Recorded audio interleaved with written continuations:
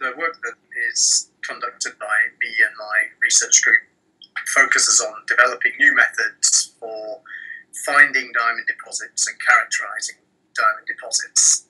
But at the same time, we use the diamonds as unique scientific probes or windows into the deep earth. Our group found the first example of ringwoodite that was discovered in the earth. So that, that sounds like a fairly obscure mineral, actually one of the most common minerals that makes up the earth. If you wanted to extract some ringwoodite, place it on the earth's surface, if you did that very slowly at, say, walking pace, then the ringwoodite would revert to its low pressure form. What we found is an inclusion trapped in a diamond. The beauty of the diamond is that the diamond structure is so rigid that it traps and, and maintains a very high internal pressure. So it stops ultra high pressure forms of minerals reverting to their low pressure form because the diamond acts like this very strong cage, the, the minerals wanting to expand, but the diamond stopping it expanding.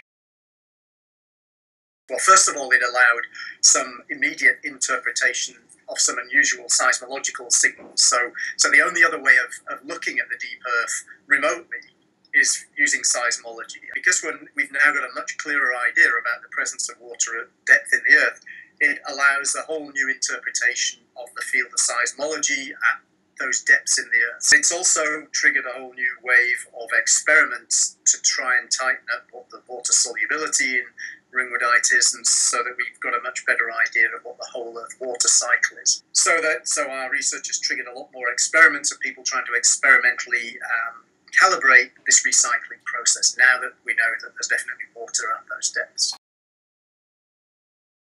Challenges with this particular work are the sample sizes and getting the right samples. So, so firstly, you have to spend many, many hours looking through a lot of samples. With the beauty of diamonds visually is because they refract, they bend light. So if you're looking into a diamond and you think you see an inclusion in a certain place, often it's not where it you think it is because the light's been bent. So you've got to sort of guesstimate where the inclusion actually is. So that's all very tricky it, requires a great deal of patience and a great deal of really willpower to keep searching through thousands of diamonds until you find the right sample. I think we get the benefit of the best of both worlds working on, on diamonds in that the diamonds are a big economic driver. So one of the reasons to work on diamonds in Canada is because they supplied over 90% of the GDP of the Northwest Territories. But the, the beauty is that you get a second bite of the cherry as well because you, there's this amazing scientific information that's trapped within the diamonds. And so we have this sort of added incentive to help find diamonds because they give you these, these unique pieces of information that you just can't get out of the earth any yeah, as you might imagine, we need the help from industry, either to, to give us samples and to work with industry. They fund um, a lot of the work that we do. The other support really comes from the province, the University of Alberta, um, Canadian Foundation for Innovation, and also the Alberta side of that, Alberta Innovates, that, that provides match funding for a lot of the what is often very expensive and very sophisticated equipment.